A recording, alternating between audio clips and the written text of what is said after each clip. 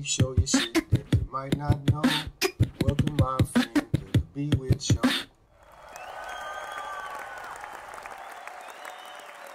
Okay, now that you have uh, created your first application, um, you want to go in.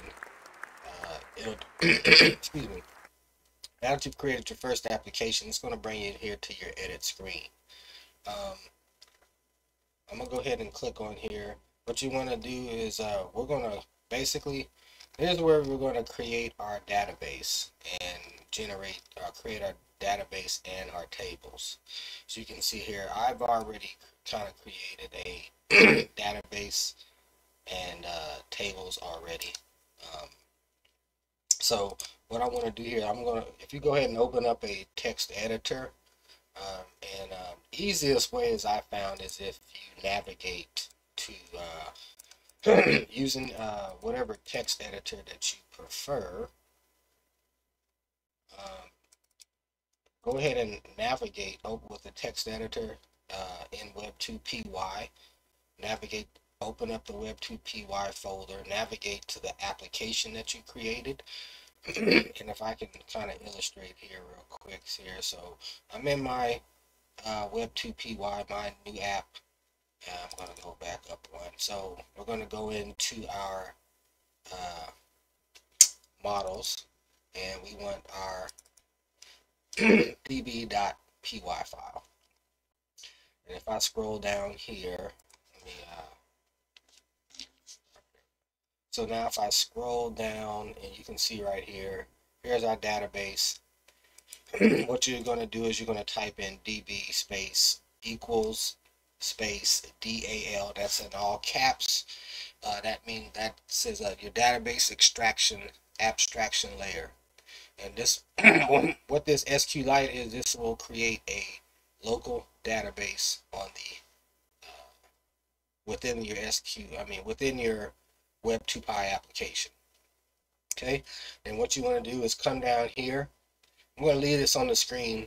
You guys following along, you can uh, maybe type this in, use this as a template to follow.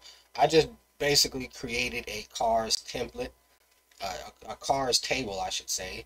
So what you want to do is you want to go here, you're going to type in db, here db dot define underscore table and everything is going to be after that's going to be in open and close quotes so what you'll do is you'll uh, uh, title give your your table will be the first uh, entry so the name of the table and we have a T there just so we can identify that as a table so we have T underscore cars excuse me and then comma and the T underscore call, cars is in single quotes. Then we have comma, and then uh, you hit. You can either hit enter or I just I hit enter to keep all of my uh, all the the, the, the format kind of in in sync. It looks kind of uh, formatted nicely. I can read it and tell what's what. So basically, you want to hit comma space and then you're going to put in your first field and I call I wanted my first field is color the car the color of the car and the type of entry that you're going to type in is it's going to be a string and then label equals T and you're going to type in open close parentheses with uh, open and close single quote and then color is that's going to identify this as my label okay, so I'll give you guys a little time. You can go in, take your time, kind of come up with your own table, or you can uh, create the exact same table that I have uh, listed here. Um, uh, so if you want to pause the video, take some time, jot this down, and then um, in a minute or so, we'll proceed on from here. Okay.